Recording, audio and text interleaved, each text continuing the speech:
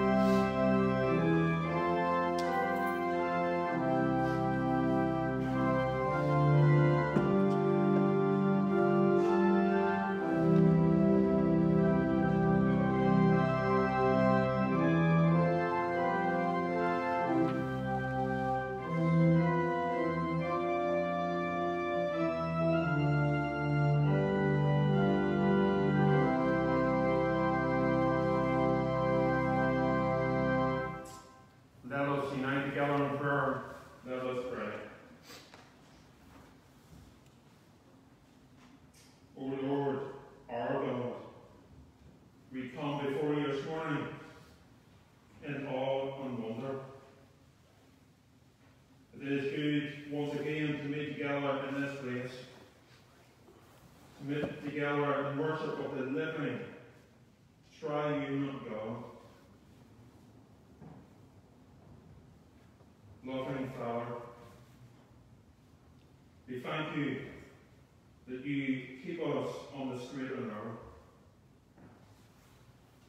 you bring us back and we wander from your pathway.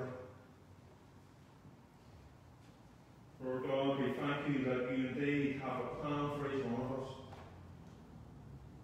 And we thank you that your, through your Son's death on the cross at Calvary, his resurrection, that each one of us can be reunited with you, and we can call you our Father. Lord God, we ask this morning for your forgiveness. Lord God, we continue to fail you in so many ways. Fault, word, and deed. But we know that if we come to you genuinely with a repentant heart,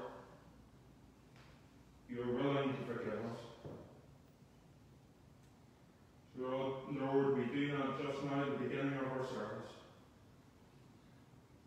We lay before you everything which will, which will hinder us from worshipping you this morning. Indeed, which will hinder us from growing closer to you, becoming more Christ-like. Renew us, we pray. Lord, be with us in this service of worship. And through it, may we give you all the praise and all the glory that you so justly deserve. And now we join together in the words of Jesus Christ taught his disciples to pray. Our Father, who art in heaven, hallowed be thy name. Thy kingdom come. Thy will be done on earth as it is in heaven. Give us this day our daily bread, and forgive us our trespasses, as we forgive those who trespass against us. And lead us not into temptation, but deliver us from evil. Thine is the kingdom, the power and the glory, forever and ever. Amen.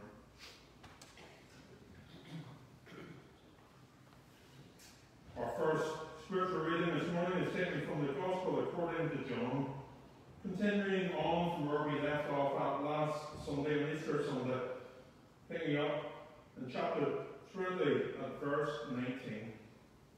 John chapter 20, beginning at verse 19. On the evening of that first day of the week, when the disciples were together, with the doors locked for fear of the Jews, Jesus came and stood among them and said, Peace be with you. After he said that, he showed them his hands and side. The disciples were overjoyed when they saw the Lord. Again, Jesus said, Peace be with you. As the Father has sent me, I am sending you. And with that he breathed on them and said, Receive the Holy Spirit.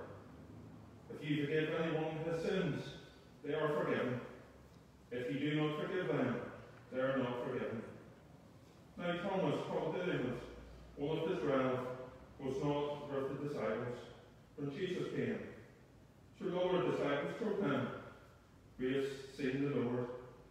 But he said to them, Unless I see the nail marks in his hands, put my finger where the nails were, put my hand into his side, I will not believe it. A week later, his disciples were in the house again, and Thomas was with, with them. Though the doors were locked, Jesus came and stood among them and said, Peace be with you. Then he said to Thomas, Put your finger here. See my hands. Reach out your hand and put it into my side. Stop doubting and believe. Thomas said to him, My Lord and my God.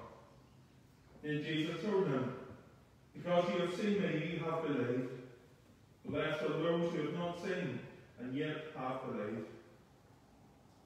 Jesus did many other miraculous signs in the presence of his disciples, which are not recorded in this book. But these are written that you may believe that Jesus is the Christ, the Son of God, and that by believing you may have life in his name. Amen. We thank God for his reading from his precious word. Young people, it's good to see some of you out this morning and maybe this morning listening in online. No doubt you're looking forward to tomorrow being back in school. If it be the first time, maybe keep me right, Karen, maybe in over three months, maybe longer, from all ages are back in school. I do hope that you get on well and will indeed be good for especially maybe the older ones to see their friends once again face to face.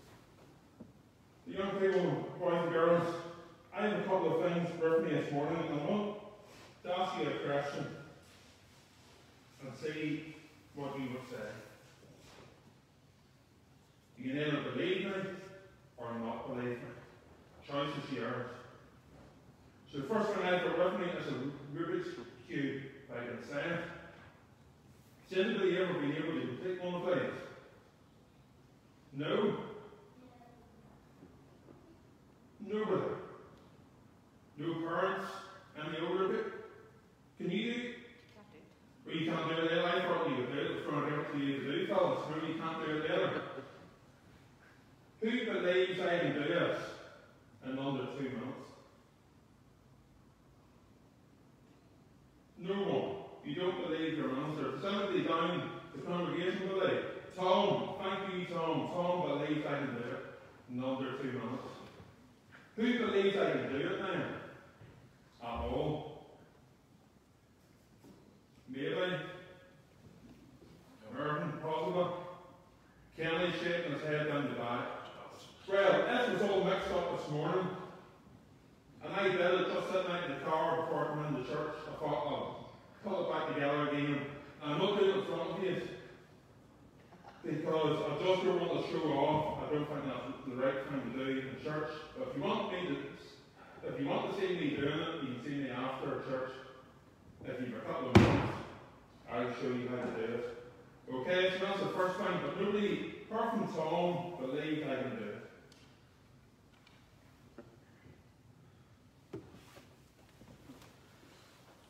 Two paper clips with me. Okay? Maybe difficult to see right down the back. Two small paper clips.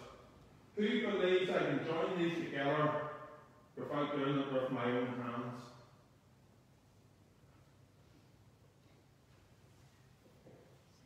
Yes? I've one over here. Rachel, I'm going to tell it. Now, maybe more. Well, let me try to do this. I'll let you not doing this wrong. I'm going to use a bit of paper, well, a 10, 10 or 20 pound note here. So I'm going to put one paper clip on, I folded the note, I'm going to put one paper clip on, and then I'm going to put another paper clip on. Now, hopefully, I need to kind of hold this here so it doesn't go flying. Maybe don't have it wrong. Kind of happened wrong. Hold on. Upside down. This is right here. Should be doing this. So again, put one on.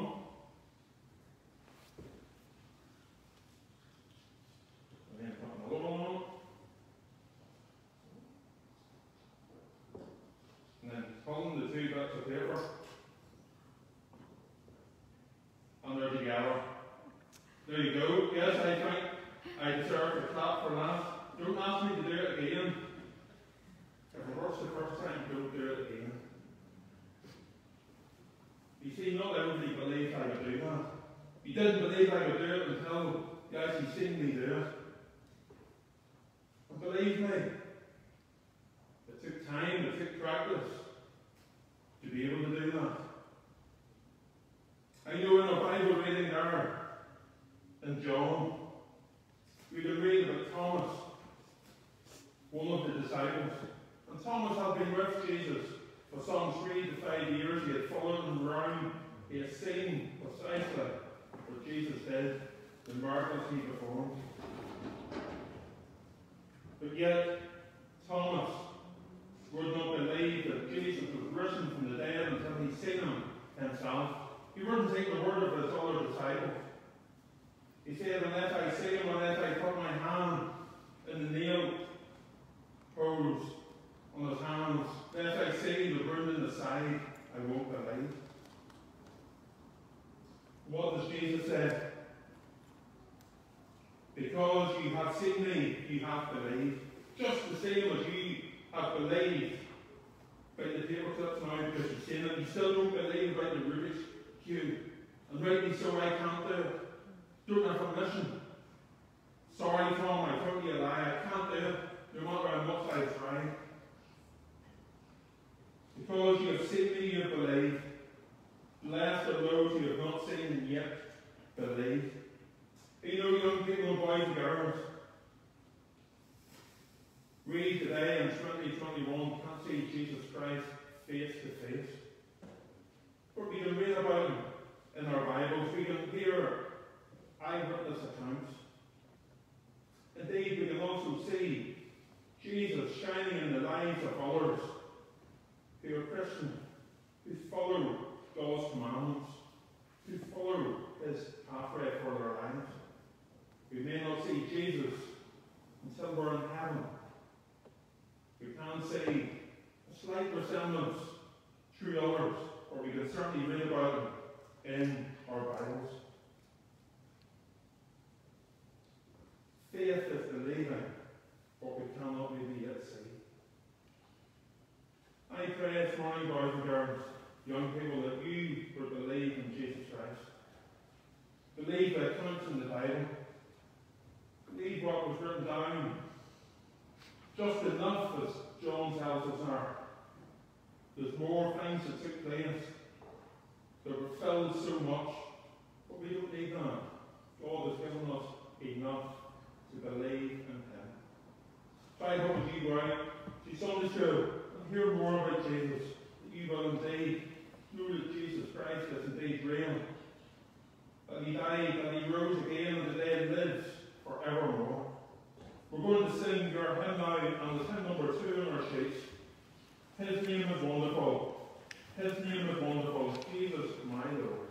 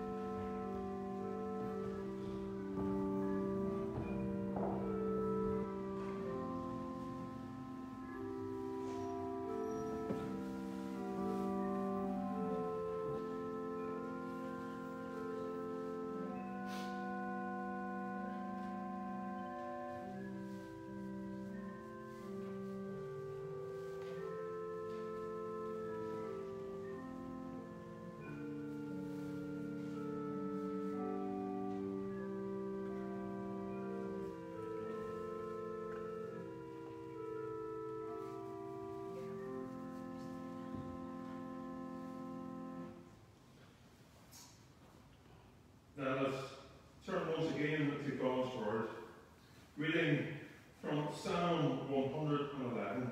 Psalm 111. Praise the Lord. I will extol the, the Lord with all my heart, and the counsel of the upright and then the assembly. Great are the works of the Lord. They are pondered by all who delight in them. Glorious and majestic are his deeds, and his righteousness endures forever. He has caused his wonders to be remembered. The Lord is gracious and compassionate. He provides food for those who fear him. He remembers his covenant forever. He has shown his people the power of his works, giving them the lands of other nations. The works of his hands are faithful and just.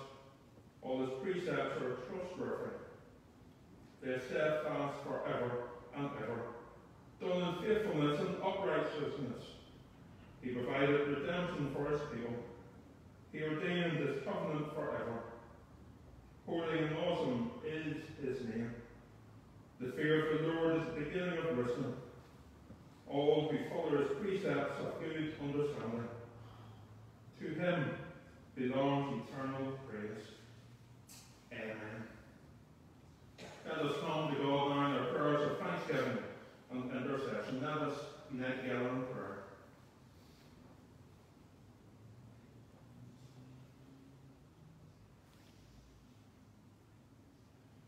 Gracious God, as we bow before you this morning, we give you thanks, Lord, for last weekend. We thank you for the special services on Good Friday and Easter Sunday, even the dawn service. We thank you, Lord, that although Good Friday seems so bleak, so dismal, Sunday was coming. When Christ would be risen from the tomb. Lord, we thank you for those services. We thank you for all those who came out. Indeed, for those who connected in virtually online. For God, we thank you that we can once again meet in this place. Lord, it's not something which we take for granted. For God, we do pray this morning your blessing upon each one gathered in. For listening in, that they might know your very near presence to them, each one. Pray especially, Lord, this day for any going to hospital appointments in the coming days. We pray that we will take away any anxiety, any worry. They will hand it over everything to you. For God, we pray for those who are in pain, both physically and mentally. And we pray for your healing touch.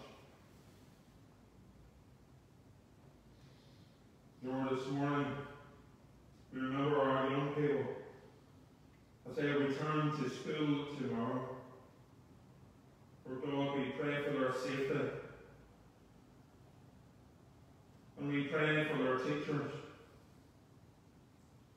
And we pray for been prepared for them.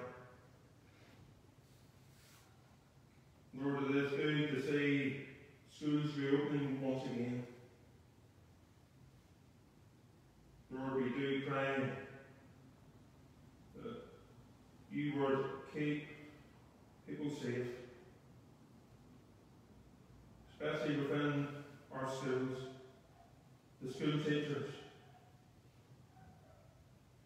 cleaners, caretakers, all who have any involvement within our local schools, indeed throughout the province. We continue to think of our health service, Lord. And we continue to pray, Lord, that the pressures on it will continue to ease somewhat. So that routine appointments can once again take place. For this morning we lift before you all those who mourn the loss of a loved one in recent days or weeks. We especially remember this morning, Lord, Her Majesty the Queen, on the loss of her husband, the Duke of Edinburgh. Lord, we pray that we will come near to her this day, indeed in the coming days. The funeral takes place on Saturday coming. And even after that, Lord, that you would be there with her. That you be that rock and strength that only you can be. Lord, we give thanks this morning for yes, his long life, for this faithful service to his wife, her majesty, but also to the country and to the Commonwealth. Lord, we also remember the wider family circle, in particular the children. Prince Charles, Princess Anne, Prince Andrew, and Prince Edward, and their families, to whom the Duke of Edinburgh wasn't just someone seen on television or met at special occasions, but to whom it was our father and grandfather, indeed great grandfather. Lord, this morning draw near to each one. Lord God, be near to each one of us. Be with us as we face exciting times in life. But be with us, Lord, as we maybe face difficulties and challenges. Maybe we don't see anyone each day. Maybe it goes for a few days before we see a loved one. Or indeed someone calls our home. Um, we continue to think of those, Lord, who are still self-isolating at home due to fear, due to anxiety, or indeed underlying health reasons. Be near to them this day, each day of their lives.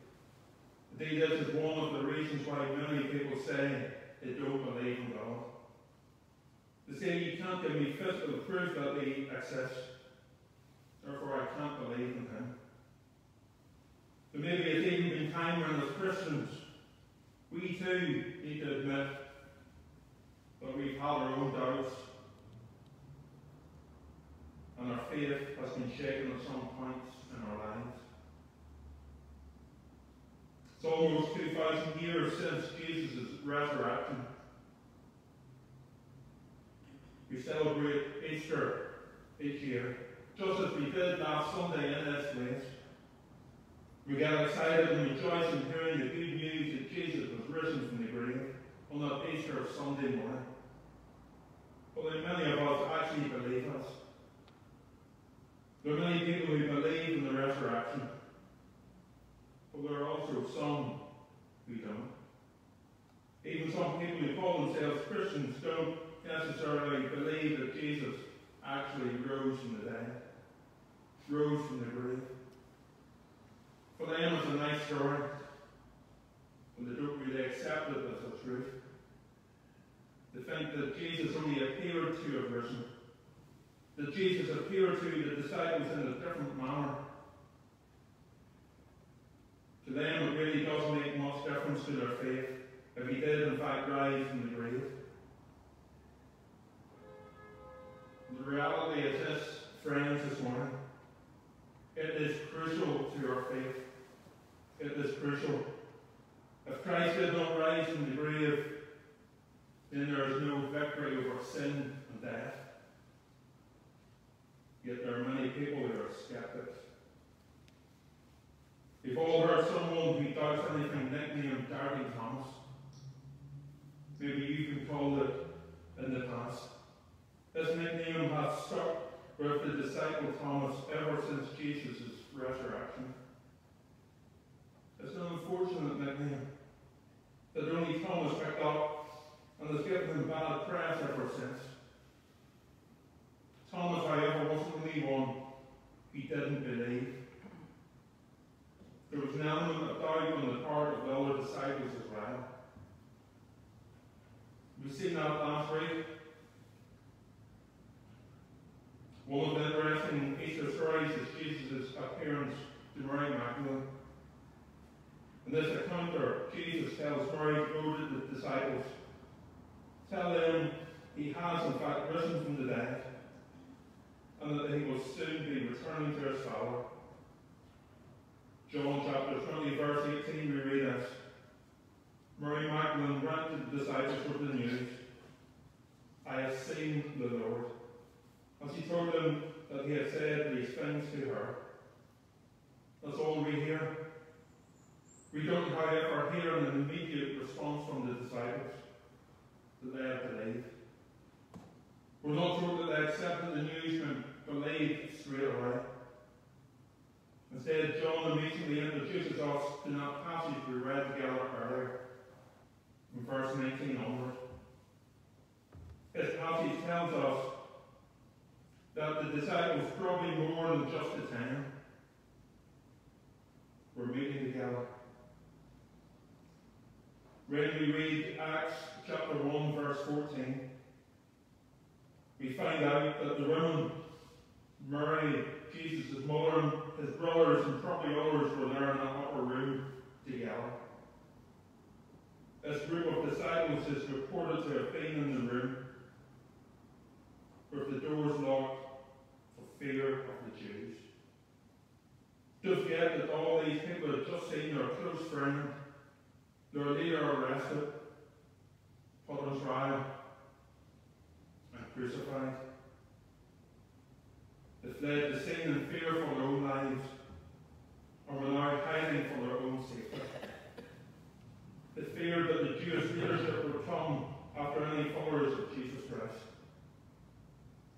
It was a tense time, much fear, much anxiety. If they killed Jesus for treason, then they might also come after those who followed him, those who associated with him. Our passage doesn't just stop with them hiding in fear, but instead it tells us this.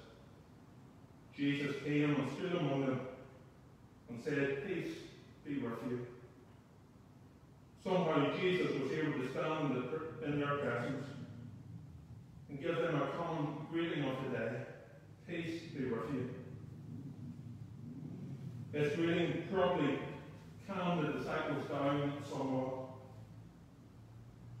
But can you imagine the one who you ran from on the night of his arrest now standing with? Can you imagine the telling of, of that? Instead, what does Jesus say? Peace be with you.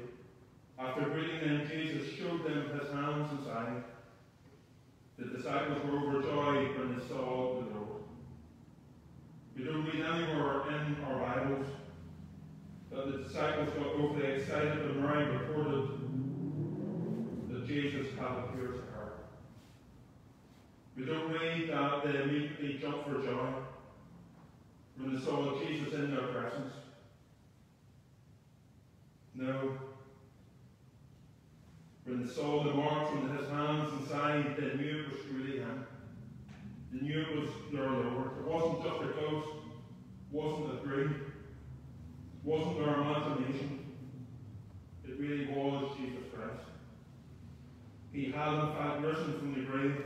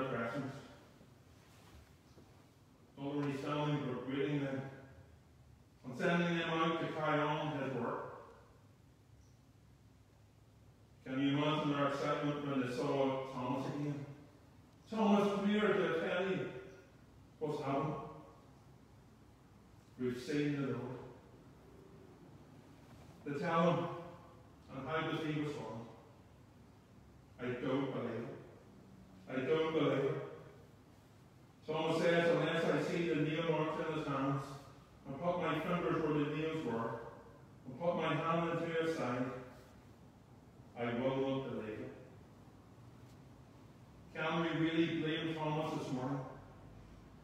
After all, Thomas was, or after all, Jesus was crucified before Thomas's very eyes. And now he's being told that he's alive. People don't just rise from the dead, do they? How can someone rise from the dead in their own power? It just isn't possible, church. And hard to accept. We then read that one week later, they're gathered in the house again. This time, however, Thomas was there. Again, we read that the doors were locked, but yet Jesus came and stood among them and said once again, Peace be with you. Can you imagine what was going through Thomas's mind at that moment? Like, we can't believe it. And yet I seem to be saying it. Maybe it's not totally true. Maybe I am dreaming. So what does Jesus do? Because Jesus knows all. He speaks specifically to Thomas. Put your finger here. See my hands. Reach out your hand and put it in my side. Stop doubting and believe. You see, Jesus knew what Thomas had said to the other disciples. He tells Thomas to do just as Thomas had said he needed to do in order to believe. Jesus seems to be addressing the doubt of all the disciples here. He knows what Thomas needed to hear. When Thomas hears this command, we hear a pretty major confession by Thomas. What's he say? My Lord and my God. My Lord and my God, this skeptic isn't as much of a skeptic as everyone thought. When Jesus spoke to him directly to Thomas, he claims, My Lord and my God. This short phrase a lot of man. The word Lord is the equivalent of the Old Testament word Yahweh. You'll see it especially in the King James Bible, the word Lord written in capital letters, L-O-R-D, meaning Yahweh. The name for God himself. When he says, Am I God? Thomas is making a divine claim. Not only is Jesus his master and teacher, but he is in fact God himself. Thomas understands that the resurrection truly shows that Jesus is in fact God. Jesus said to the Pharisees in John 8, verse 28, When you have lifted up the Son of Man, then you will know that I am the one I claim to be, and that I do nothing on my own, but speak just what the Father taught me. You see, Thomas knew that since Jesus was in fact alive, since he had risen from the dead, he had to be God himself. What an amazing statement of faith by the person many people describe as the doubter. My Lord and my God. Jesus, in response to his confession, doesn't really congratulate Thomas. In fact, it's probably a rebuke of Thomas's doubt be it all a gentle one. There aren't any harsh words, but Jesus says, Because you have seen me, you have believed. Those that saw him after the resurrection probably believed because they've seen him. They've seen their Jesus. We don't hear of many that believe without seeing. But Jesus goes on. Blessed are those who have not seen and yet believe. Many followers of Jesus were believed seeing. Jesus commands Thomas while rebuking him, but also gives a blessing to those who believe without seeing. Jesus concludes this story with the last two verses of chapter 20, where he tells us why he wrote this gospel. These are written that you may believe that Jesus is the Christ, the Son of God, and that by believing you may have life in him, life in his name. John wrote his gospel to people who probably never saw Jesus Christ in reality. He knew that some people were the doubts, some would the questions concerning his Jesus Christ. Those who received John's Gospel never had the opportunity to see those miracles firsthand. Never got to hear what Jesus said. But John wrote down everything so that people would hear about who Jesus was. So that they might believe in him and that they might have new life in him. He gave a first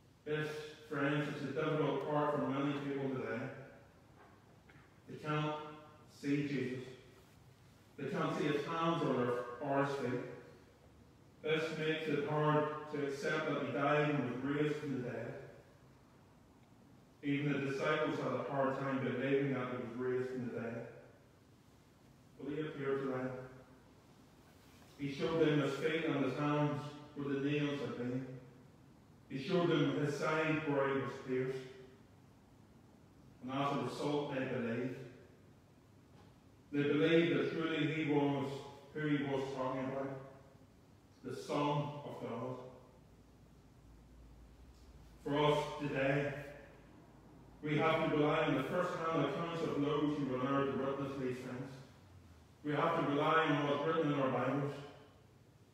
We have to depend on our testimony concerning Jesus. What does Jesus say about those who believe without sin? Blessed are those who have not seen and yet have believed. John tells us that those who believe will have life in his name. Jesus is the bread of life. He died on the cross for your sin and for my sin. When he rose again on the third day, he defeated death. Death wasn't able to keep him down. I can see how it would be hard for the disciples to accept this news. But isn't every day that people are raised from the dead. But then again, Jesus is certainly no ordinary person. He's more powerful than death itself. He was able to conquer. It may be hard for us to accept as we live in a culture that wants physical proof today. We want evidence of everything. We need something tangible to touch or to see for us to believe. But you don't always have to see to believe. Having faith that Jesus did, in fact, do these things is what gives us life. Call to worship this morning was from Hebrews 11, verse 1. What did it say? Now, faith is being sure of what we hope for, and certain of what we do not see. We need to be sure of what we hope for. That Jesus did, in fact, die on the cross for our sins we need to be certain that Jesus is the only way to the Father. He says in John 14 that it is because of his work. We will only one day be with the Father if we have put our faith in him. We are certain we hope for Jesus' return. To take us to be with him in his Father's house. We look forward to this. Why?